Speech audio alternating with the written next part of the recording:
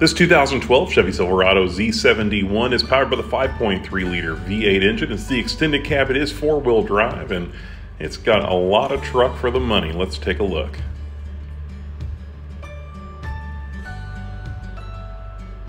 Gotta love a bed cover, and that one's a hard folding bed cover too. So as we climb up inside, this is an LT model. It does have the flip down armrest, so it is a six seater pickup truck.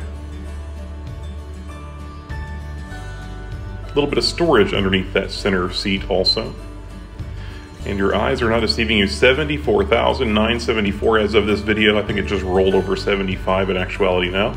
And uh, it's got all the steering wheel controls being an LT model.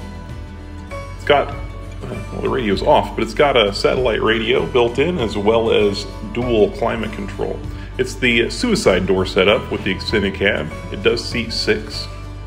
And take the whole family along in this 2012 Silverado.